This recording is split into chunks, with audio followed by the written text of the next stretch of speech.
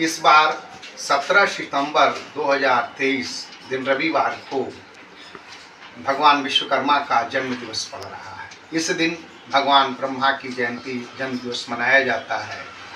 इस दिन बड़े धूमधाम से औद्योगिक कारखानों में, कार्यालयों में लोग, गृह निर्माण के क्षेत्र में जहाँ भी निर्माण होता है, वहाँ पर भगवान विश्वकर्मा की पूजा की जाती है। भगवान विश्वकर्मा को देवशिल्पी कहा जाता है।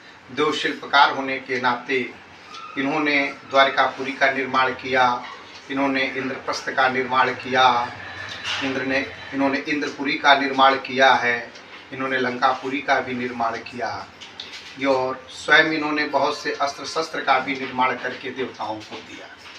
ये बहुत बड़े इंजीनियर कहे जाते हैं। इन्होंने विश्वकर्मा प्रकाश का की रचना की है, जो गृह निर्माण के लिए, वास्तुशास्त्र के लिए सबसे उत्तम ग्रंथ मानी जाती है।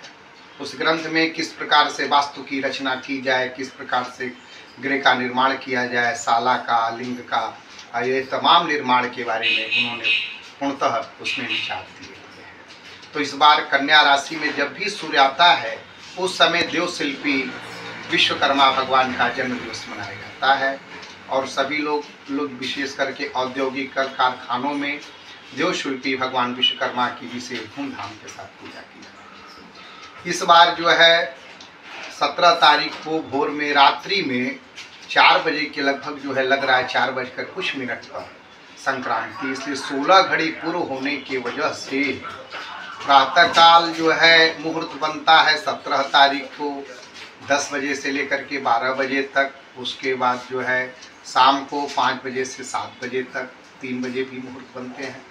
तो दो तीन मुहूर्त हैं जो प्रशस्त हैं। नमस्कार।